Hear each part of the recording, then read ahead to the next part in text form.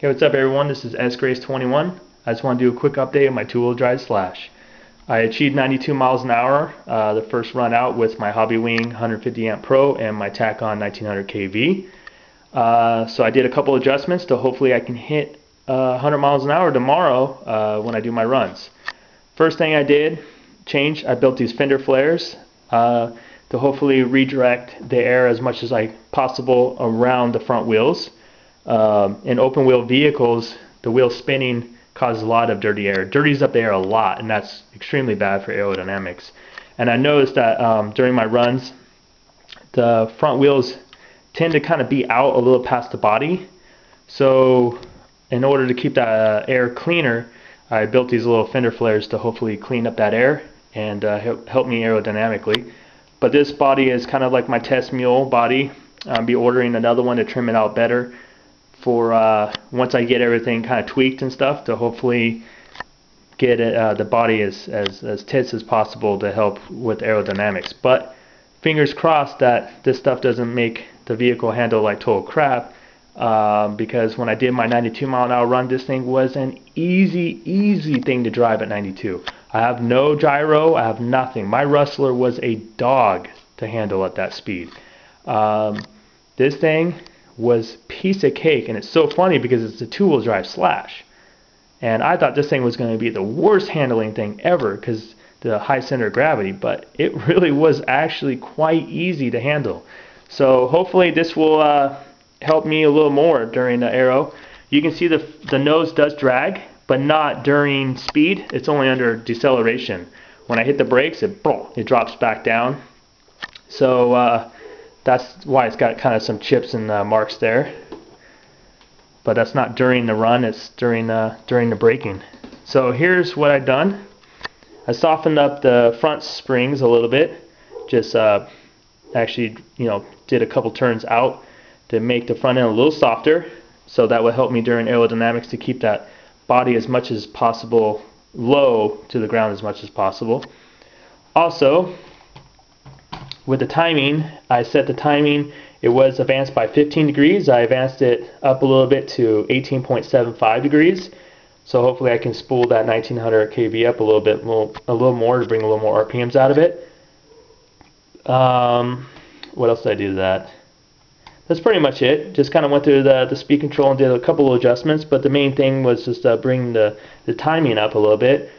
And you ask yourself why. Uh, this is why I'm bringing up the timing up a little more. That right there is my new Integy aluminum transmission, oh sorry, gearbox, and a 34 X01 pinion. I had to do a lot of dremeling to make that 34 fit on there. Uh, I'm running a 36 spur, and that's a 34 pinion. I wasn't going to do aluminum uh, gearbox just like I, I noted in uh, my other videos because I'm trying to keep this as much as a budget as possible. But that motor was getting quite warm, uh, especially with the gearing on a 3429 or 3629. And these aluminum gearboxes act like a big uh, uh, motor heatsink too. They do dissipate a lot of heat. They draw a lot of heat away from these motors and uh, bring it into the, the gearbox itself. So I didn't overheat the motor. I think I maxed out it was like about 155. But hopefully, since now I'm running a 34 instead of a 29 in opinion, I uh, it was time to get aluminum gearbox on there. I mean, it was only 30 bucks shipped to my door, so it's not that bad. I rebuilt the whole transmission uh, or gearbox. I don't know why I keep on calling it transmission, but I rebuilt the the whole uh, gearbox, uh, all new bearings, all new gears, all all new teeth, everything. Um, I was running just my uh, my gearbox that I used for multiple years at the racetrack, and I thought, you know what, I have a new uh, gearbox laying around, and since I got a new Integy gearbox, it was time to put all new bearings and gears in there and uh, put uh, my lube back in there and get, and get that set up. Um, so hopefully that will help out with speed a little more because it's a little more efficient with new bearings and everything nice and clean inside of a new gearbox.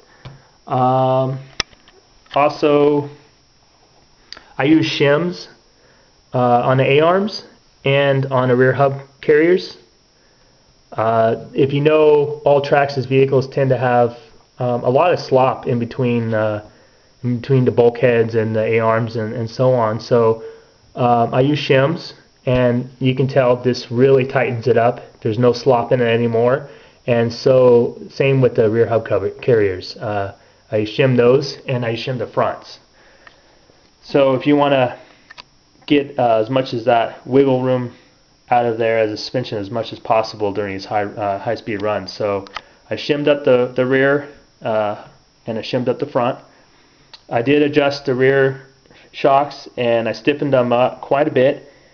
I did a couple of passes in front of my house at a slower speed and I did have these uh, stiffened up too much where it actually started to pogo stick and that's not too good. It would hit a bump, bump and the rear tires would actually leave the ground so that's extremely bad at 90 to 100 miles an hour.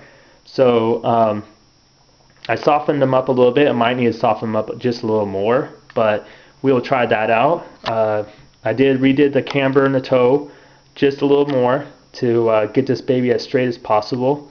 But this thing was a dream to drive at that speed. It was so easy. So um, hopefully, uh, you know, tomorrow when I do my runs and with a little bit of higher gearing and uh, a little bit of higher uh, timing, I should uh, hopefully achieve 100 miles an hour tomorrow. Um, not really sure. Like I said, this system only cost me about $127 shipped to my house with the Hobbywing 150 amp and this Tacon motor.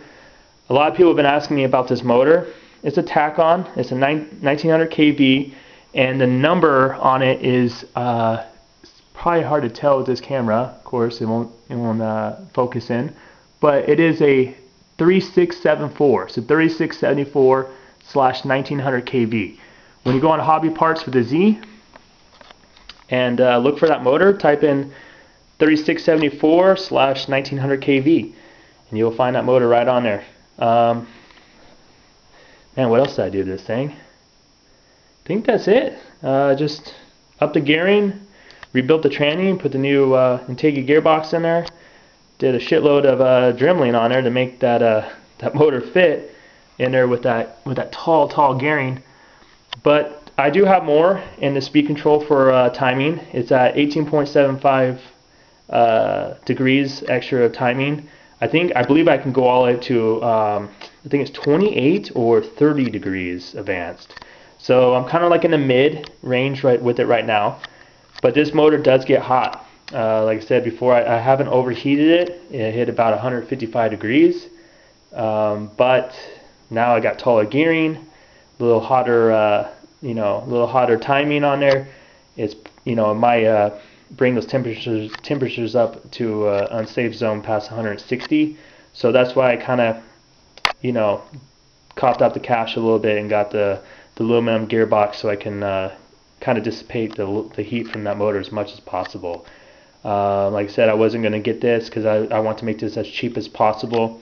But it was only 30 bucks shipped to my door, and it will dissipate the heat a lot more from uh, this motor than just plastic will. So but anyways, guys, wish me luck tomorrow, and uh, we'll see what this two-wheel drive Slash can do with a 150 amp ESC from Hobby Wing and a 1900 kV from Tacon motor with a 36 spur and a 34 pinion from X01. Uh, I'm hoping to get 100 miles an hour this thing. Um, I believe I have the world's fastest two-wheel drive Slash. Um, I checked everywhere and 84 is the fastest I can ever find anyone with a two-wheel drive slash. So I hit 92 first time out, and uh, hopefully this thing will be 100 miles an hour. And I'll be quite excited about that. So this is her.